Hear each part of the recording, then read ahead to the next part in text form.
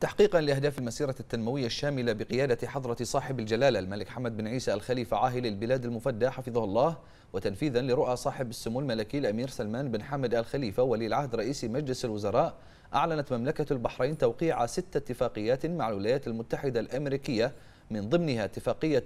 تختص بالقطاع اللوجستي. وتأتي هذه الاتفاقية للإسهام في تحفيز القطاع ليلعب دورا أكبر في مسيرة البناء والتطور بمملكة البحرين.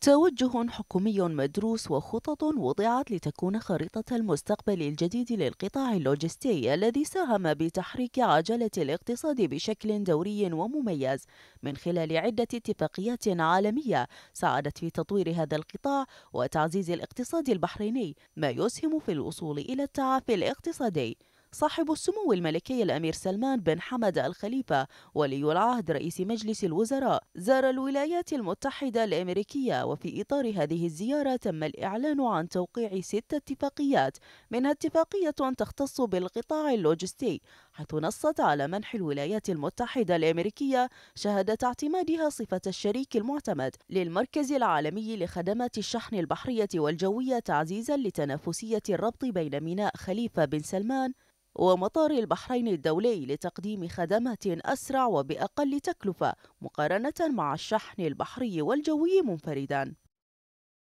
ولم تكن هذه الشراكة اللوجستية الوحيدة بين مملكة البحرين والولايات المتحدة الأمريكية خلال هذا العام إنما سبقها مشروع تنموي متكامل ومترابط يهدف إلى تقديم الخدمات اللوجستية بشكل احترافي وهو منطقة التجارة الأمريكية الواقعة في مدينة سلمان الصناعية والتي ستقدم مركزا إقليميا للتجارة والتصنيع والخدمات اللوجستية والتوزيع بين الشركات الأمريكية في مملكة البحرين وأسواق دول مجلس التعاون الخليجي وخارجها وسيحقق رؤية استراتيجية تتمثل في تعزيز موقع ومكانة مملكة البحرين الاقتصادية للوصول لصناعة متطورة ومستدامة ركزتها مبادرات مبتكرة ومتقدمة.